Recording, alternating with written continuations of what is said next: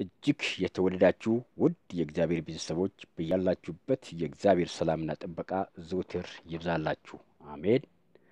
የመጽሐፍ ቅዱስ ትምህርቶች፣ ሃይማኖታዊ አስተምሮች፣ ወቅታዊ ዜናዎችና ጠቃሚ መረጃዎች በዚህ ቻናል ላይ ስላለ ጊዜ ሰጥታችሁ እንድትሰሙ በአክብሮት ጋብዛችኋለሁ።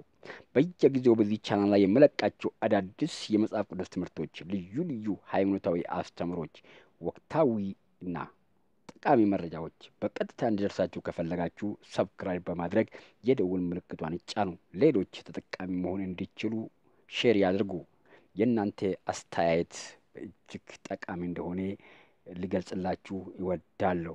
መልእክቶችን ከወደዳችሁ ደግሞ like ማድረግ ትችላላችሁ። ስለ ትብብራችሁ ከወዲሁ አመሰግናለሁ። እግዚአብሔር ይባርካችሁ። በዚህ ቪዲዮ ይዤላችሁ የቀረብኩት እግዚአብሔር በችግር ውስጥ ጥንካሬያችን ነው በሚል ርዕሰ ጉዳይ እናገራለሁና ተከታተሉኝ። ጊዜ ስጡኝ፣ ጆሮ ስጡኝና ተከታተሉኝ። መልካም ነገር ታገኛላችሁ፣ ትማሩበታላችሁ። እግዚአብሔር በችግር ውስጥ ጥንካሬያችን ነው። ለደካማ ኃይልን ይሰጣል፣ ጉልበት ለሌለውም ብርታትን ይጨምራል። ኢሳይያስ ምዕራፍ አርባ ቁጥር ሀያ ዘጠኝ ሁላችንም በልዩ ልዩ አይነት ስራ ሊደክሜን ይችላል። ገንዘብ በማጣት ምክንያት ምቾት ላይሰማን ይችላል። በገንዘብ እጥረት ምክንያት እንደሚገባ መሮጥ አቅቶን መንገዳገድ ሊከሰት ይችላል። በንግድና በስራ ውጤታማ ላንሆን እንችል ይሆናል። አካላዊና መንፈሳዊ ድካም ሊሰማን ይችላል። በዚህ ምክንያት ተስፋ ልንቆርጥ እንችል ይሆናል። ስሜታችንም ሊጎዳ ይችላል። ራእያችን ሊደበዘዝና በአገልግሎት ልንዝል እንችላለን። ውጤት አልባ መሆንም ሊከሰት ይችላል። ከዚህም የተነሳ የጀመርነው ስራ ወይም አገልግሎት ለማቆም አስበን ይሆናል። ስራና አገልግሎት ግባችን ጠፍቶብን ግብ ፍለጋ በመንከራት ላይ እንገኝ ይሆናል።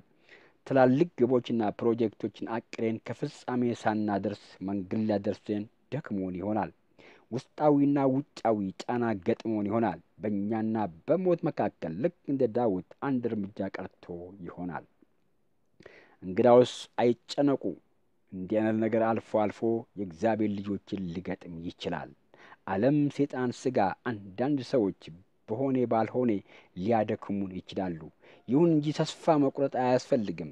ስፍራ መልቀቅ አያስፈልግም። ጸንቶ መቆም ያስፈልጋል። የሰራዊት ጌታ እግዚአብሔር እንዲህ ይላል፣ ለደካማ ኃይልን ይሰጣል፣ ጉልበት ለሌለውም ብርታትን ይጨምራል። አሜን። ይህ የመለኮት ድምፅ ነው። የእኛ ድርሻ ቃሉን ማመንና በርሱ መታመን ብቻ ነው። ዋናው መልእክቴ ይሄ ነው። ስላዳመጣችሁኝ አመሰግናለሁ። Subscribe ማድረግ አትርሱ። ሌሎችም ሼር አድርጉ። በጣም አመሰግናለሁ።